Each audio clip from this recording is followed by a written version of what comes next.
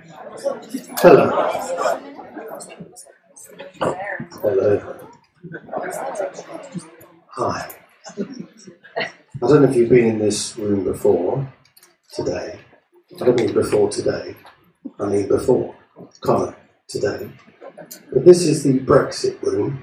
And, uh, it's nice that the Union Jack flies. And it's nice that it flies on the first column as well of the whole thing I was given today. So I know where to go. There is another talk going on at the moment that has a Union Jack on it as well in another room. I think of that as Gibraltar. As a, a little, little colony. Falklands, how dare you? No, this is Europe. Anyway, so hello. I'm going to talk to you about knowledge. I'm speaking to you like this because I have a microphone in my hand. Sort of brings out the Barry White. Um, here we go. So, is knowledge enough? And, oh, come in. Do come in. Bring your tea and your friends. That's good. Thank you. Don't worry. It's all right. You'll, you'll, you'll be safe here. So, is knowledge enough? And the short answer is no. And that's it. no, that is it. Um, that's basically what I came to say. And I'm going to say this with a few slides. I'm going to start with a Dutch slide, not in Dutch, thank God. But uh, Rob Reuben, could you read that?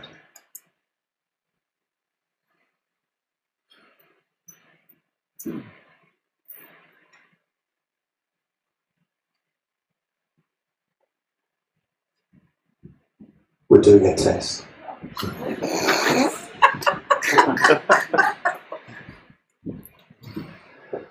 okay, so we're starting from the premise here that science tells us a lot of things. The objective world tells us a lot of things, but there is another thing going on at the same time. I'll give you a, an idea of this. If science explained the Mona Lisa to us, which it could do, it could tell us the measurements of it. It could even stick electrodes and things on your head and measure the brain and your bits lighting up of your brain when you look at it, things like that. What it doesn't explain at the same time is how you view the Mona Lisa. There is something else going on there, which is your consciousness. I'm sorry to use that term to scientists, by the way. Consciousness of the Mona Lisa how you react and feel about that piece. At this very moment in your head, there are things going on. Some of you are saying, Yes, he's right. My God, isn't that interesting? And some of you are saying, What bullshit? What an idiot. What's he saying? And some of you, got that going on as well. Okay, so that's where we are. And what I'd like to, this is Mary Midgley, by the way, um, not obviously, it's not her, it's uh, speaking. She uh, died recently, so I think you should be very sad. But she, she was a wonderful, wonderful philosopher. So, here you go.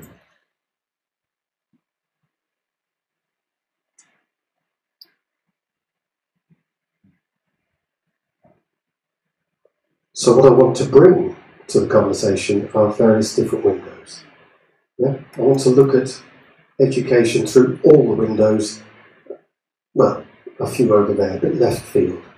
You see, I'm a drama teacher. Sorry, this is my theatre. yeah. Um, so I'm talking about the arts. The arts. Yeah.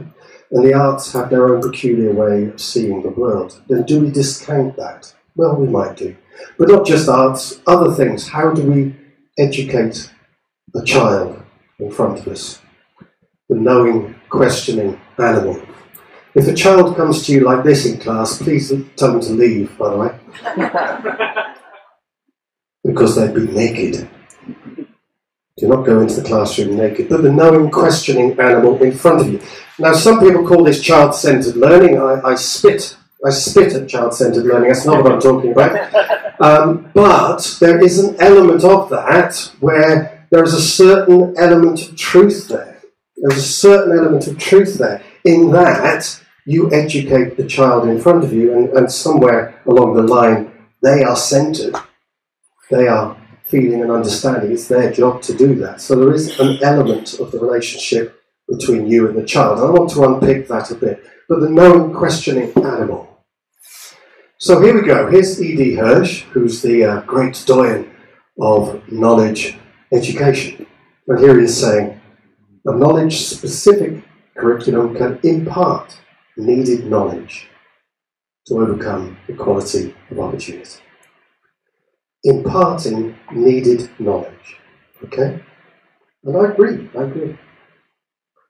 But if we treat the needed knowledge and the mind as a computer made of meat, and there are few cognitive scientists who believe that the brain is nothing more, really, than a computer made of meat. What do we do to set knowledge? Again, Mary literally this time in colour.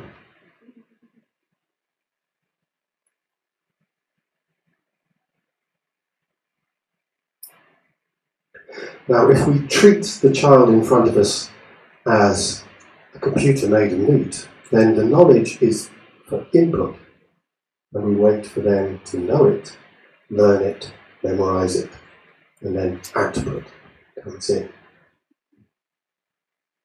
And this comes from people like Richard Dawkins here. Computers are by far the best metaphor for lots of things. We are robot survival machines. He moves away from metaphor quite readily there. We are, we are robot survival machines, and these machines are programmed in advance. Okay, so basically, basically, and genes are very important, all these things are very important. But if we get a picture of a human being as a computer made in meat, a, a machine made in advance, if you like, programmed in advance, and the teacher then just adds their programming into it, then we seem to be missing out what I would call the human being in the picture. In other words, how many of you, uh, if we take it back in this sort of complete way, if we are completely made in advance, we are, well, you go back to the Big Bang. That's where you were programmed. Everything's caused by what happened in the Big Bang. And then people think this. The Big Bang. So everything you're thinking now, that thought you just had, by the way, that's because of the Big Bang. Okay. So everything's because of the Big Bang. Causing, causing, causing. No, hang on. No, no, no, no. I, do, I don't do questions, goodness sake. Nothing like that. No. He's the questioning animal. You leave it in your own head, sir. That's where it's based. So it's potentially reductive here. I'm going to come to questions later, in other words. So, brain based learning. So we could have knowledge, we have memory, we could talk about the input output. We could even talk about Rosenshine here, and I'm going to mention him in a bit. Programming, instruction, measured outcomes, all those things that perhaps come together. Here is don't bother reading this, but he has 10 principles of instruction, Rosenshine, and in an article he actually said, but actually there are 17, and he turned them into 17 principles of instruction. But if you look at those principles of instruction, they make damn good sense if you're teaching someone something that you then want them to be instructed in. Their instruction, training. The idea that you put something in, something goes on, and something comes out. Input, output. And I was talking to Robert Bjork about this. Robert Bjork, who's a cognitive scientist that works on various things about memory. And he's saying most of the experiments they do are with maths and science departments and teachers. And he said, working with me for a very short time, by the way, was the first time he'd worked with anyone from the arts. And he hardly ever worked with people from the arts side. And that struck me as something quite interesting because if you're working to put things in in order to create certain outputs, that's very subtly different to perhaps working in a subject which works in a different way. But Nothing wrong with those principles at all. Harari talks about marking and uh, assessment and grades.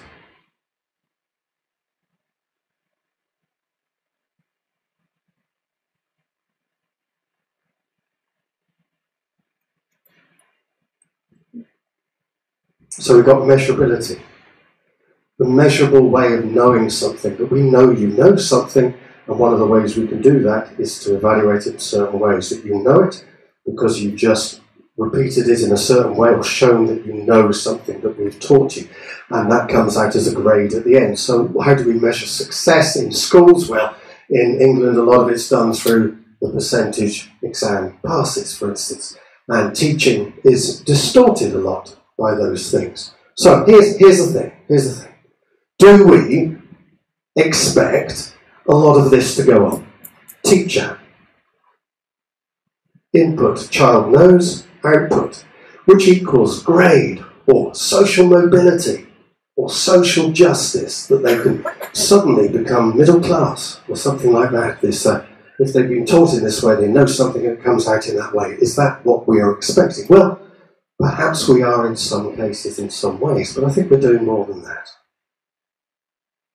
So, instead of the quantitative on its own, I'm suggesting we need to think about the qualitative.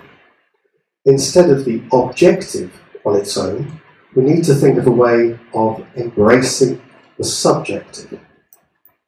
And in arts, this is about all there is, by the way. Yeah? I mean, you're thinking now, I mean, you're, you're making subjective judgments now, at this very minute. Now, how, this is why I stopped in Sego, how do we bring that in? How do we bring these things in? What's going on in your computing, shall we say? Andy Clark, Professor Andy Clark of Edinburgh University, talks about, he's, he's into AI and robotics. Really interesting guy, look him up. But uh, he's saying we need to go beyond the computational and move into the idea of the embodied and the situated mind, cultural and environmental scaffolding. Well, perhaps, but perhaps there's even more. Carlo Rovelli, in The Order of Time, great physicist,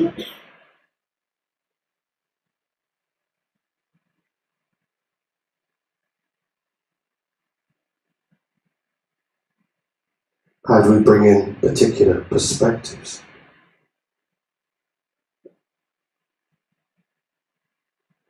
Would this cyborg see the world differently than you?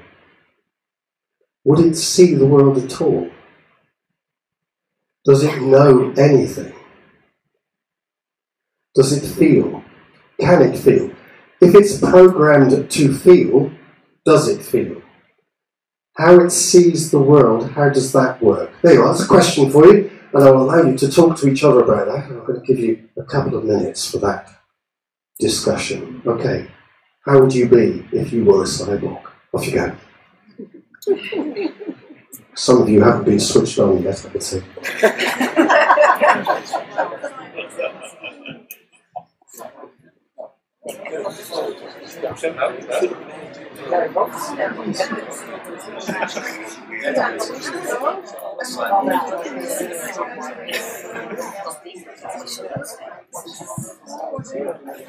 Okay, thank you. Now, I said a couple of minutes, uh, that was a lie. I actually gave you one minute exactly there. Um, when, when I let people talk amongst themselves, it's always a dangerous moment. There was a friend of mine in the audience um, last year who said, uh, well, the people behind me didn't seem to like it very much at that moment. They said, "Why?" why? They said, "He's talking shit." so there you go. If that's what you said, thank you. No, I didn't say anything. You said that, of course. But here we go. Raymond Tallis, who has a red hat. What is it like to be a creature with conscious experiences who can comprehend how the light comes into the brain, but not how the gaze looks out of it? Not how the gaze looks out of it. You are looking at the screen, you're looking at me, looking at the floor, looking at each other, you're feeling the seat underneath you, you've got a pain in the side, you've got an itch, you need to go to loo. All those things are being absorbed into the consciousness, plus your very knowledge you have built up, schemas and things in the past about where you come in on this, and your feelings about it and opinions about it are all there in various different degrees, some of you accepting, some of you not. Polanyi, into every act of knowing there enters a passionate contribution of the person knowing what is being known. It's a vital component of your knowledge.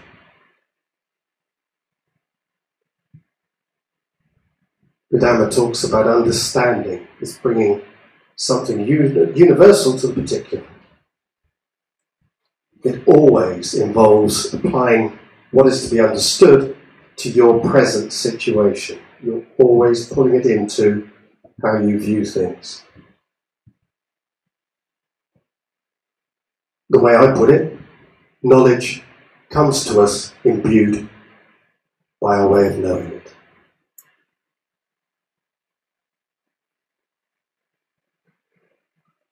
What I think we need more is wisdom in knowledge itself, if you like. Now, you could argue, and some people do, that it's the same, it's all knowledge, but let's, let's put these things in.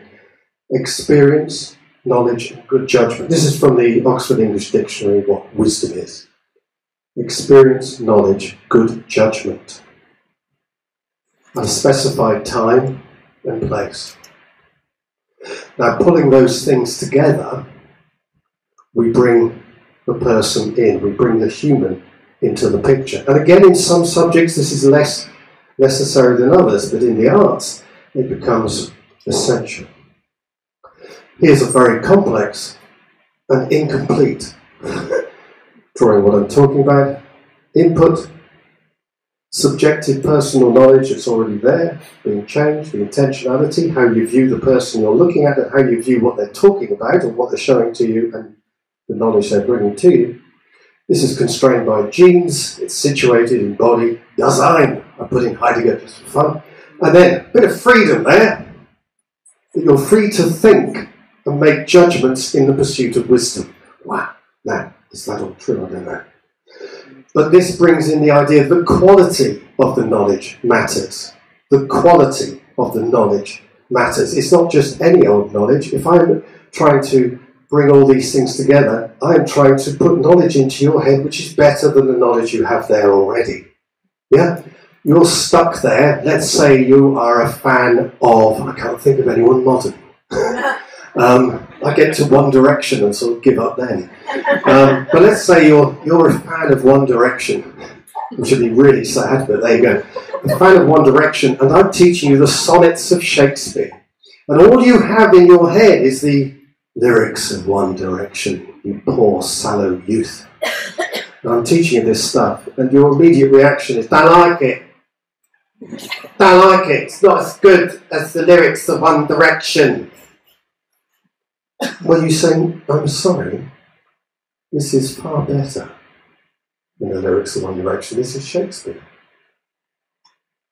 Yeah. And you shouldn't have an argument about that. But there reaction to it is very important to that relationship when you're trying to persuade them that these things are better. So Nietzsche talks about perspectives, how we all these truths are going to come together, trying to get an objective view by bringing all these things in. And Zaccaria talks about why we study certain subjects. We'll just pick out one or two of those to have a look at.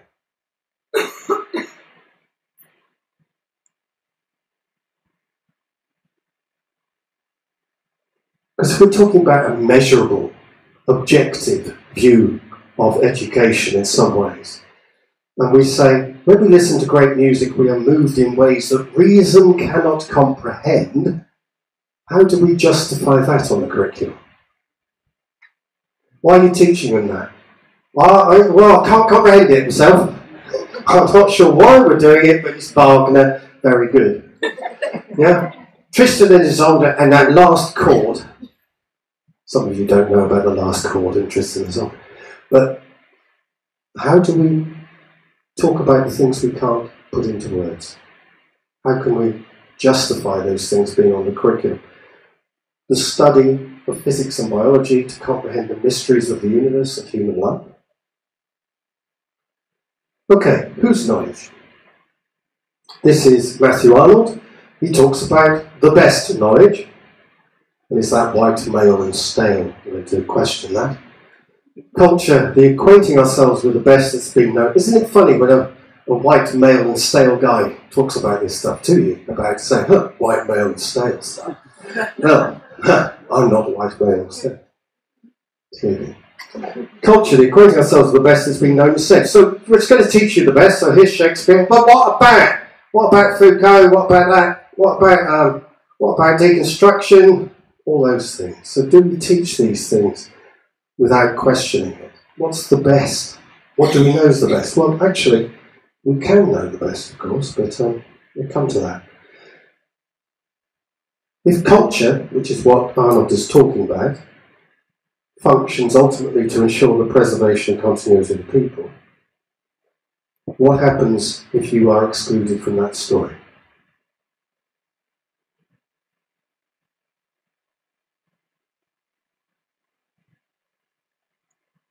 But there's also the other problem here, because if she does change the culture, is it the culture that it was before? And all the richness, is it still there or is it taken away? I mean, these, these are big questions. Probably not resolvable, but a very important point that these are quite complex questions. Um, this is C.L.R. James, who was a philosopher from Caribbean, Trinidad and Tobago, who loved cricket. Loved cricket. And he wrote a book called Beyond the Boundary, and it's a great thing about colonialism and all that. But he says about cricket, when the first team he saw, first time he saw his team, the West Indies, turn up at Lords, the home of English cricket, and they went out there and beat England for the first time. He said they put it in white clothes but they couldn't take away the colour of our skin. But there you are, the two cultures coming together. The idea of cricket as a colonial ideal for what it was to civilize, civilize the savage. But there he was finding his poetry, his way of expressing himself within that very sport. So, beyond knowledge, qualitative judgments, discrimination, discernment, argument, intuition, opinion, taste, beauty. Beauty is truth, truth, beauty. I was looking at all the um, syllabi for GCSE exams for art, and not one of them mentions beauty, which explains everything about modern art.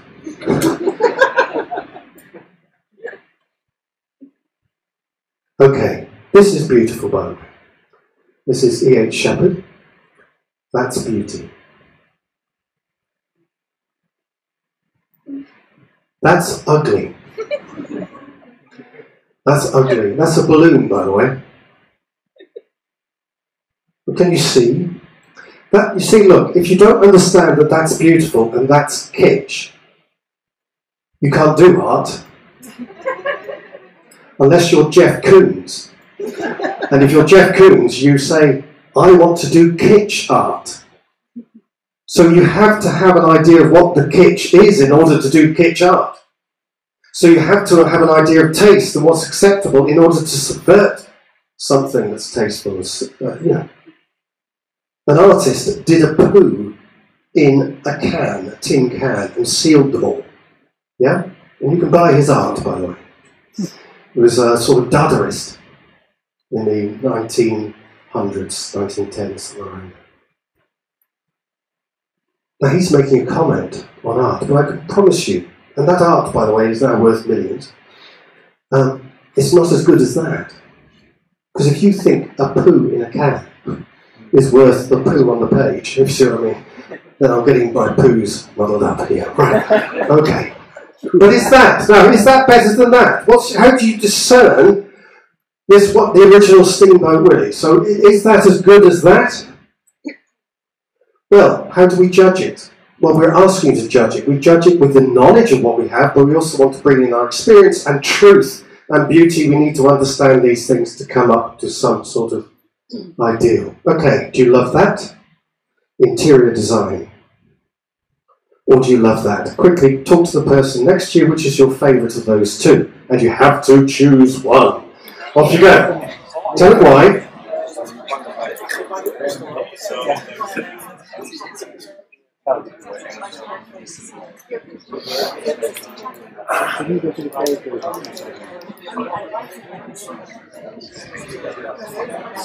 Okay, right. Now, if you chose the one in the bottom left, you did any of you choose the one top left? Put your hands up. Three of you. Oh, oh, oh, oh, a smattering, a smattering. Did any of you choose the one bottom left? Right. A smattering. Two, oh, slightly more, slightly more. Okay. The one bottom left belongs to this man.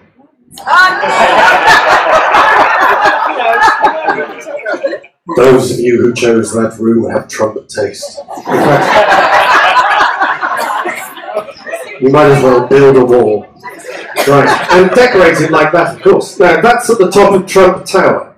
Okay, that's his, his room. There he is, resplendent in that. The one top left is Versailles. Now, that led to the French Revolution, of course, in some way. So you could say that actually Trump's well, probably better. Well, we don't know what's going to happen yet. We'll take our chances. Right, the best one there, best conductor, please. It ain't him. It can't be him. It's like saying Liberace was the best piano player of all time. It's not right, you know. That's kitsch. You've got to have kitsch. You've got to understand it as kitsch. So Simon Rattle wins, perhaps, that one. Right, best artist.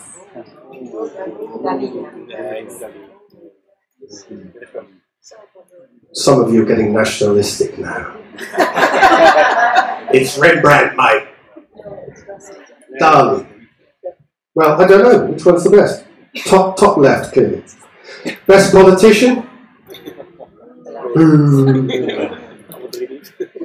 Most incompetent politician. But here we have the teaching by dialectics. Differing views of the same story. And funny enough, the scientists aren't too far behind on all this. This is Daniel Willingham. That's the best picture I could get of him. And structuring a lesson plan around conflict can be a real aid to student learning. Conflict gives a natural progression. Some sort of argument, conflict, dialectic helps. This is Robert Bjork talking about inductive learning putting a Monet next to a Picasso, cancerous cell next to a benign one. You start to learn it more because you're seeing what it's not. Let's have a have a go. Now, describe who who painted what. Try that, but then bear in mind how do you know that? How do you know that? And how can you pick it out from that? How much knowledge do you need to know to make that judgment? And then move on from there. What are the qualities for each of those? And try to arrive at something. Because if you're an art teacher, you have to do this. As an artist, you have to do this. Which painting should I not put on display? Which is the best? Which is so, you know, put in some sort of rank order, okay? With the people around you, off you go.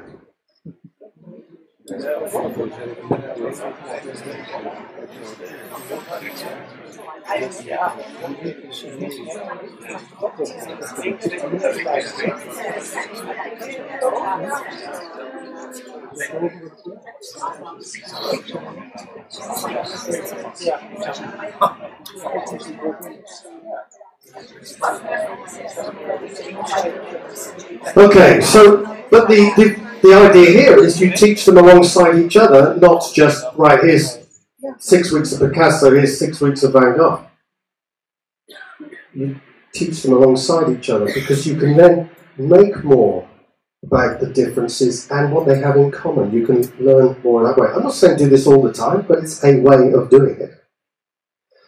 It allows for discrimination processes. It's critical to inductive learning. You notice the commonalities and differences, Bjork says. So interleaving things, putting them alongside each other. Right. Now, I've got a, an argument from one of the most controversial philosophers of all time, who will argue, I will argue with you in a second, about which is the best book there and why. But can you make, if you don't know any of them, some of you might have seen a film or TV series, some of you might have read halfway through, like I have. Um, but uh, whichever you've done, which is the best book and why? Off you go.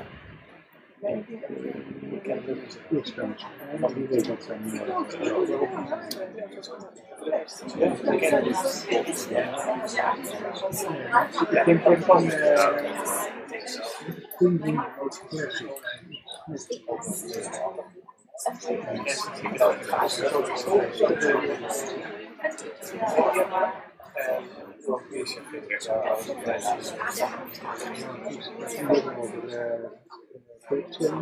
you care to sing a song to me?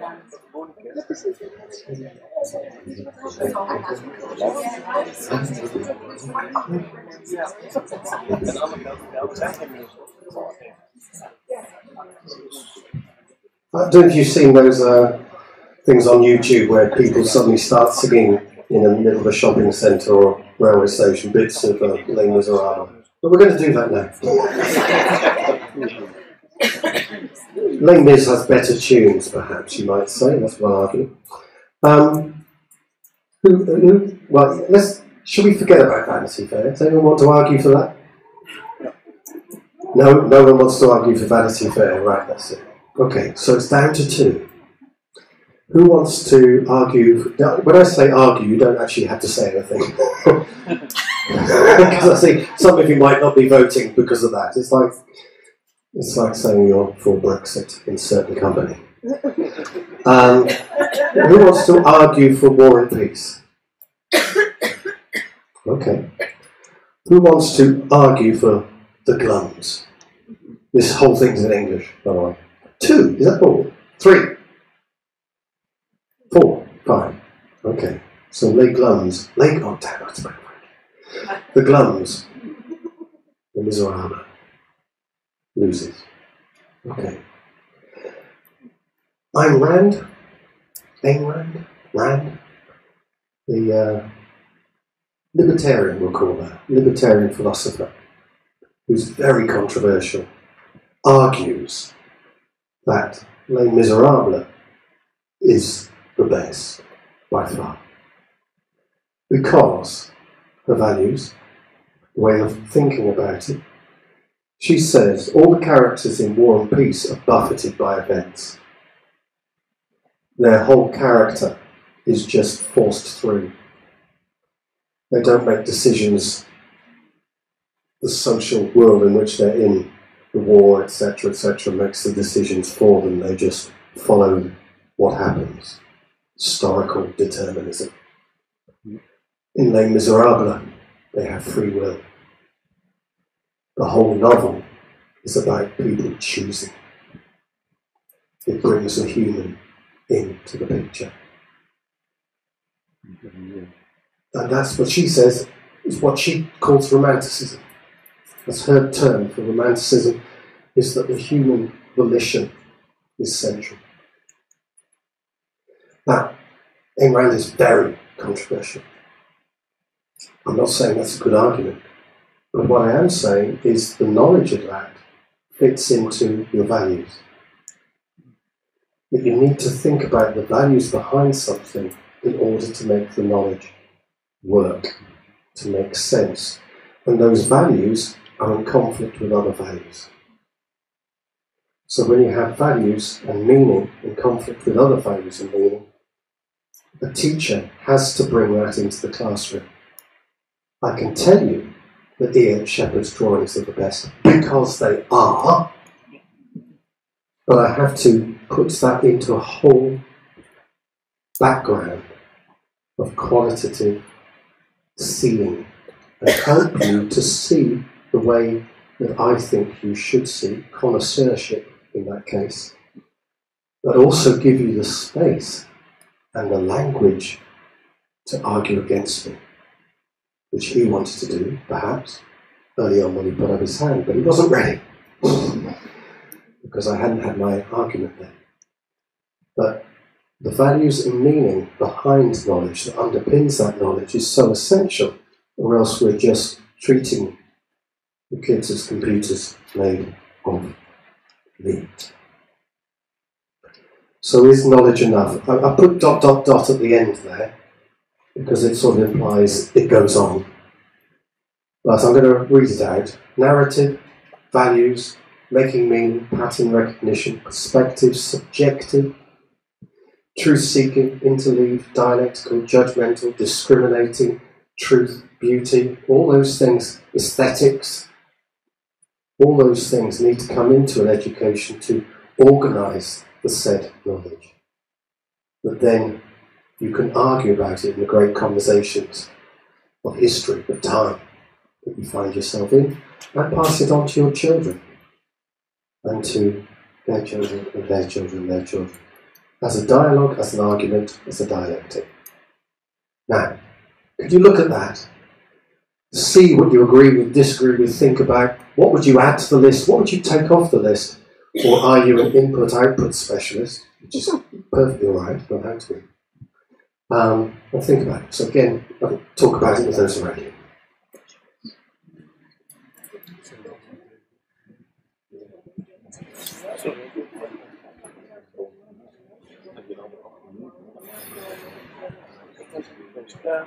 alten Dinge getroffen. Das Dinge. Also, das ist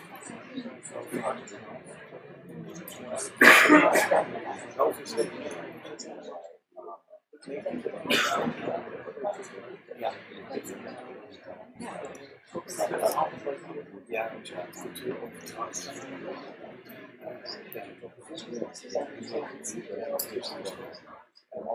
ja.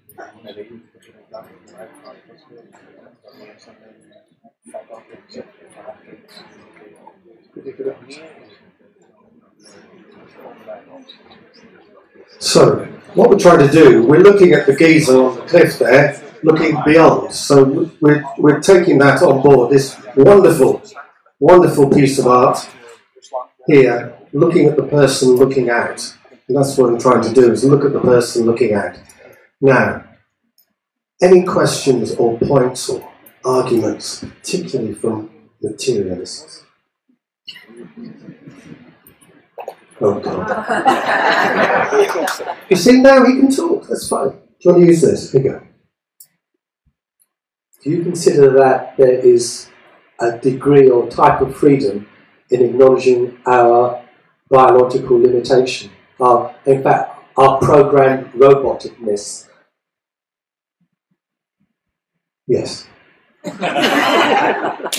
no, it's, it's very important because we are constrained by our genes, we are constrained by our upbringing, we're constrained by our economic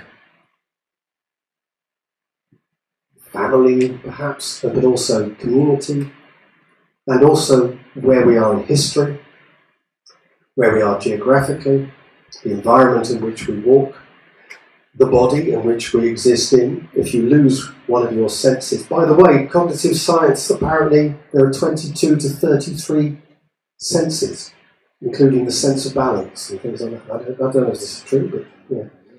But if you lose your sense of balance, how do you see the world? Very differently than someone who has good balance. Um, if you lose your sight, you see literally see the world uh, differently. So there, you know, you are constrained. Through that constraint, there is creative freedom, because constraints are where freedom comes from. Any more questions? What? You're, you're muttering, muttering at the front here. I think you should speak louder. In der Beschränkung zeigt sich der Meister. That's what you were saying. Right? it's German. It means it's the same as I was saying. That's good. No, I'm saying slightly different. You don't need creativity. It makes you more creative. The limitations make you more creative. Yeah. So if I give you five or six chords to play, or just throw a guitar at you, it's slightly different. Yeah, it's it, you, you're more likely to make the tune if I teach you something. try thinking without a language. The language gives you the restriction by which you can think. Okay, yeah, yeah, yeah, yeah. Well. I don't know what the time is, by the way, because the clock has stopped working down there. Do tell me if we've finished already. Uh, thank you. So emotions, how would you see that? So you can just be, become very sad or very happy when you look at art. Right, I'm going to cry. Um, yes, your, your emotional response to something is extremely important, which is also why we need an emotional vocabulary to try and discuss how we feel. And by putting things into words, help shape our understanding of the emotional feeling we're feeling. So, art, art is the way of describing our emotional selves. That's what it does. It's a subjective way of seeing the world and putting it into some sort of language, which is why the arts are very important in the curriculum. I'm going to say at that point, with a minute left, the minute waltz. If you want to get in contact with me, she doesn't, she's out.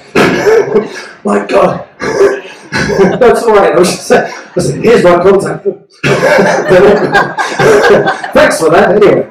Um, here's my contact details if you're interested at all in getting in touch if you want to discuss these issues in further detail.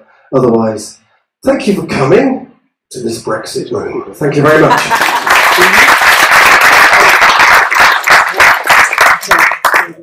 Thank you.